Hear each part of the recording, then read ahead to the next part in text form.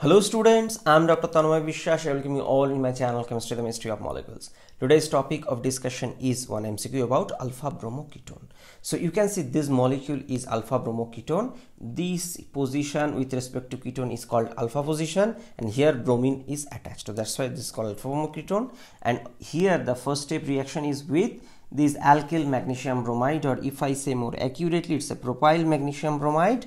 So N-propyl magnesium bromide and obviously in anhydrous ether type solvent or anhydrous THF solvent. And second step is workup. So you have to say what is the major product of this reaction. Four options are provided and one of them is the right answer. So i request you student please pause the video try by yourself and whatever answer you get please write in the comment box along with few words as explanation. And don't hesitate whether your answer will be right or wrong because self evaluation is essential for improvement and that's why you should try I believe you have tried by yourself, so it's my turn to give you the right answer.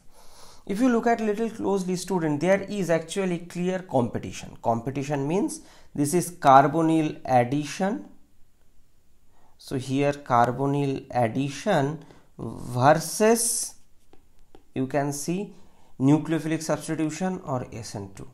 Actually student, uh, if you try from both point of view you'll get the right answer but based on my understanding the right pathway is nucleophilic addition on carbonyl. Why? Because if you look at grignard reagent it's not that much very good nucleophile but it has some nucleophilic means that much like in, in substitution reaction not that much. And second thing here there is a magnesium atom means alkyl magnesium bromide and this magnesium is in plus 2 oxidation state. So it can act as Lewis acid. We have seen that Grignard reagent magnesium 2 plus can act as Lewis acid.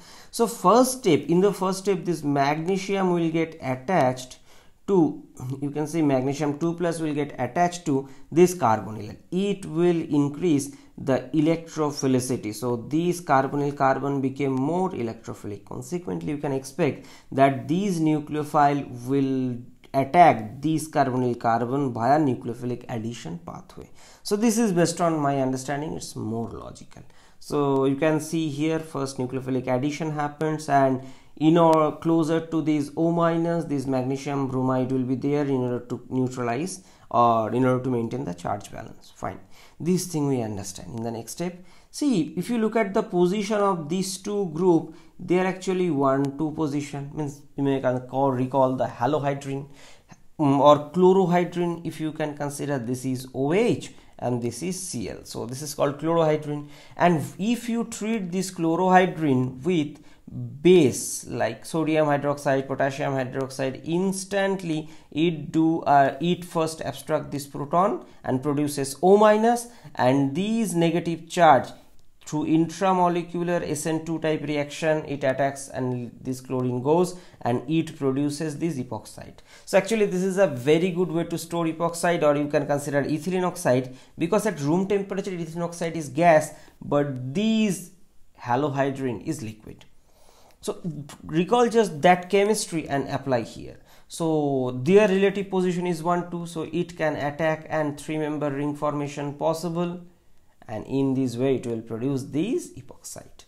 Fine. Now in the next step what is given? Next step acid is given. So acid means oxygen is a hard base. So obviously this protonation is possible.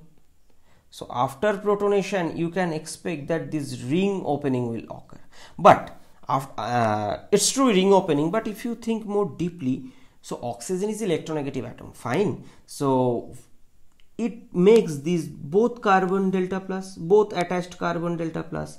Now when it get attached with proton it electron deficiency enhances further. Consequently it will pull more electron density from these both two bonds. But here where the positive charge is more stable based on that the pulling effect will be determined. So what you can expect?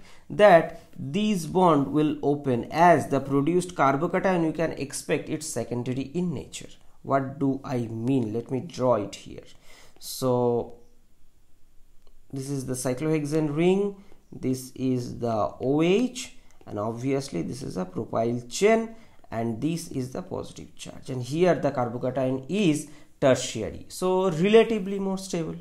We know the tertiary carbocations are relatively more stable due to both plus I effect by these three bonds and hyperconjugations. Now so you can think that okay fine. Now in the next step what you can expect that in the next step these oxygen can push and these hydride could migrate migrate from here to here.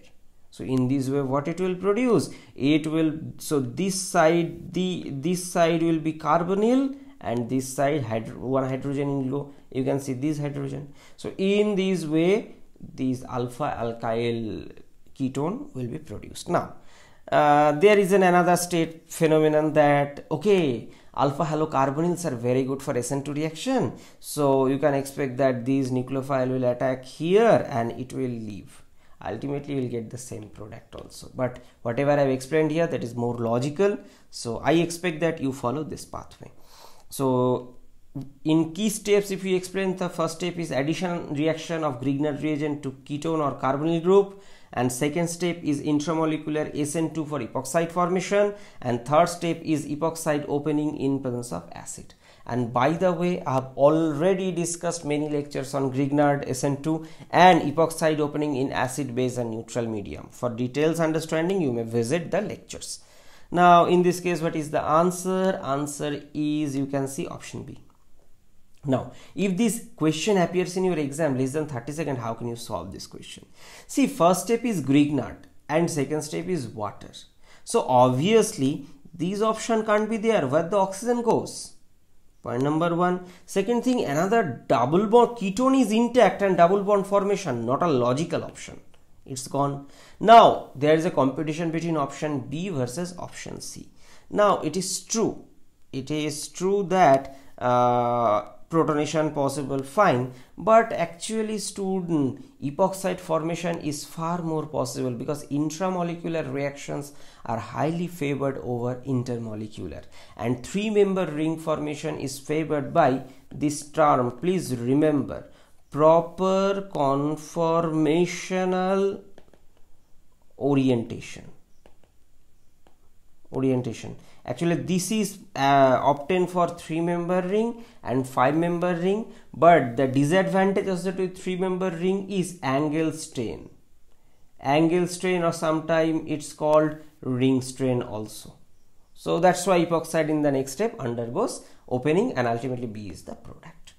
Now so you can see this is one reference uh, and you may visit also professor dr chandan shahar's book where i've taken this problem so, sorry.